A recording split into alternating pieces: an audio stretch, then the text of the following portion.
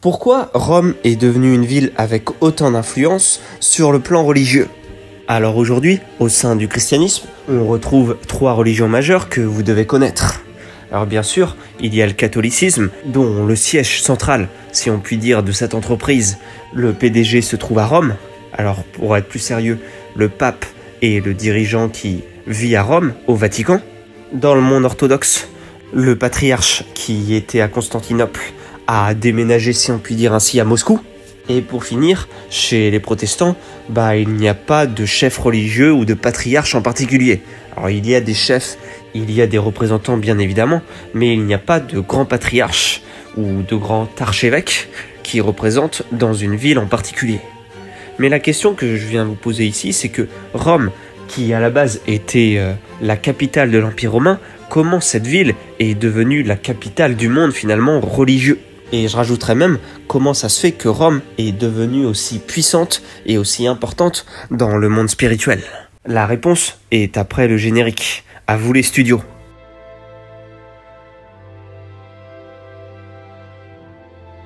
Alors pour ceux qui ne le savent pas, aux origines du christianisme, Rome n'avait pas un rôle aussi déterminant qu'il l'a aujourd'hui.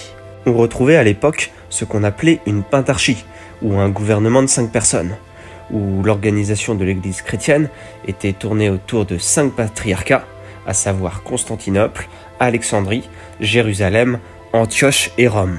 Le premier patriarcat est bien évidemment à Jérusalem, là où a prêché le Christ Sauveur, mais il faudra attendre plusieurs décennies avant qu'un patriarcat se mette en forme sur Jérusalem.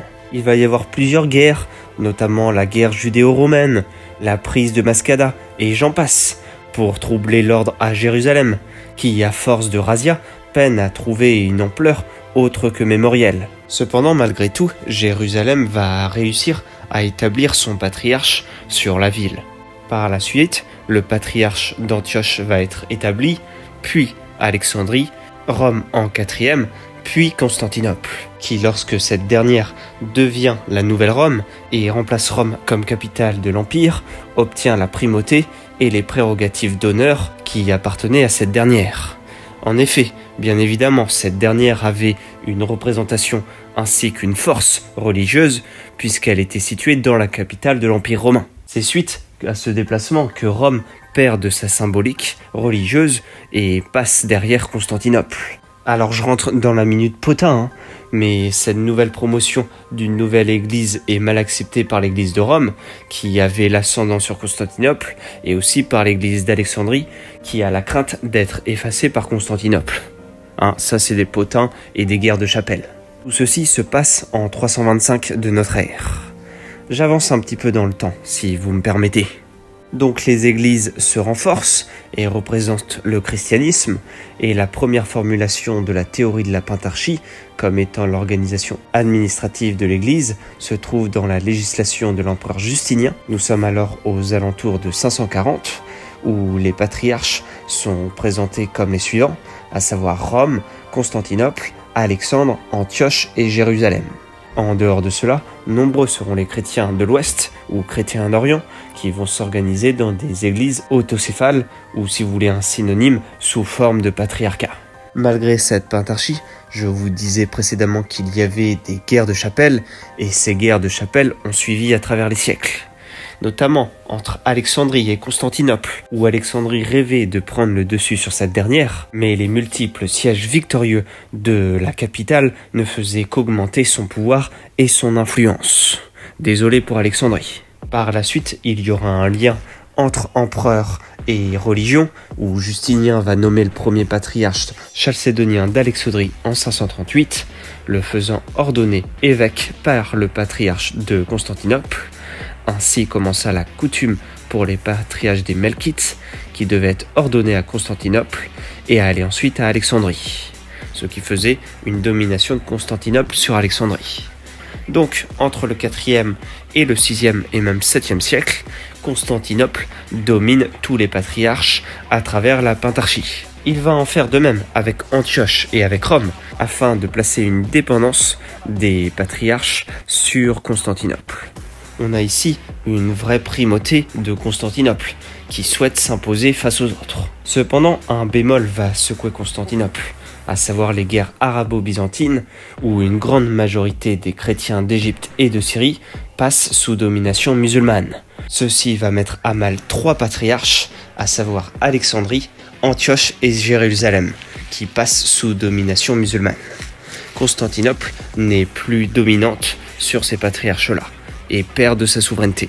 De cela va amener une centralisation de Constantinople, qui va se donner le droit de consacrer les évêques des régions barbares, notamment des peuples de Slaves situés hors de l'Empire byzantin et placés sous le contrôle des périchotés, évêques des périphéries de l'Empire. Malgré tout, les écrivains byzantins traitaient la pentarchie comme une affirmation de patriarche gérée par l'Église de Constantinople, et c'est cette dernière qui avait le droit de les gouverner.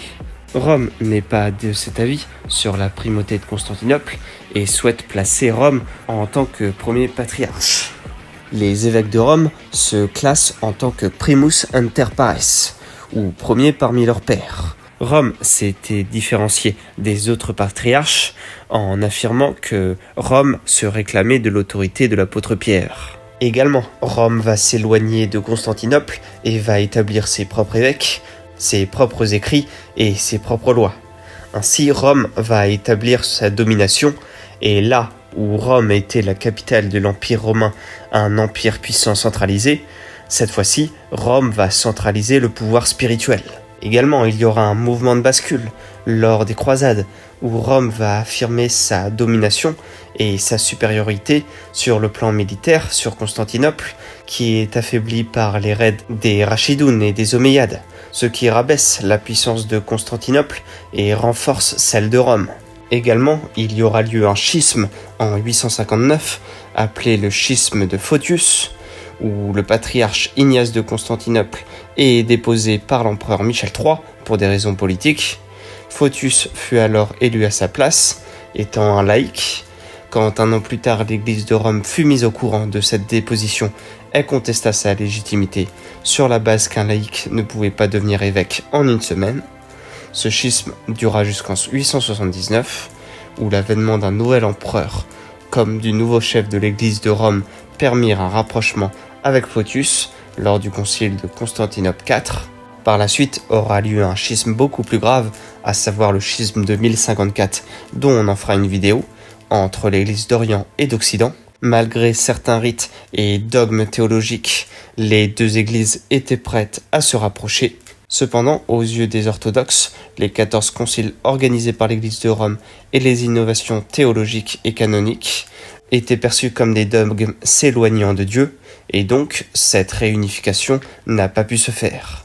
Finalement, bien des siècles plus tard, le patriarche de Constantinople s'affaiblira de plus en plus face aux Ottomans, finissant par céder face à ceux-ci, les Ottomans prenant Constantinople en 1453, les ingénieurs byzantins décideront de fuir en Europe occidentale, tandis que les patriarches, eux, fuiront dans les terres nordiques et rejoindront Moscou, là où sera mis en avant le nouveau patriarche. Cette chute de l'Empire romain d'Orient va mettre en avant le dernier de la pentarchie, à savoir Rome, qui sera le représentant officiel de l'ancienne pentarchie.